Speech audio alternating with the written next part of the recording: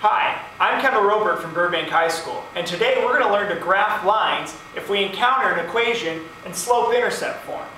Now slope-intercept form is the form y equals mx plus b, where m and b are constants. That means they're numbers. Now if we encounter something in this form, we can look at it and right away know that m is the slope.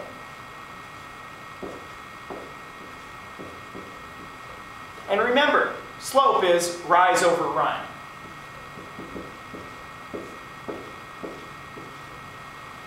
B is the y-intercept. That's where the line crosses the y-axis.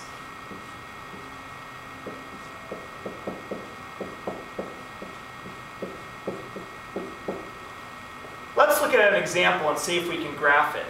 Let's try the line y equals 1 third x plus 2.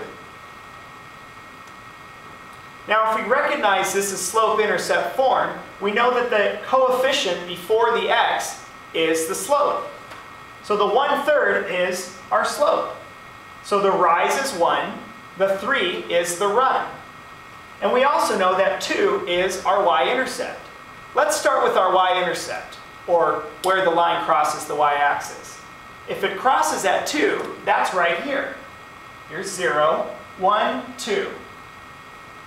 So we know our line crosses the y-axis at positive 2. Now let's use the slope. If the line rises one unit for every three units it runs, let's start from the intercept and see where it goes. So we're going to rise one, so up one, and over three units. One, two, three. Once we have two points, we can figure out what our line looks like.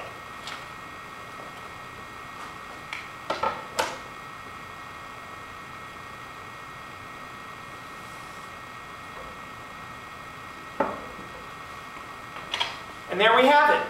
The graph of the line y equals 1 third x plus 2 looks like that. All right, good luck.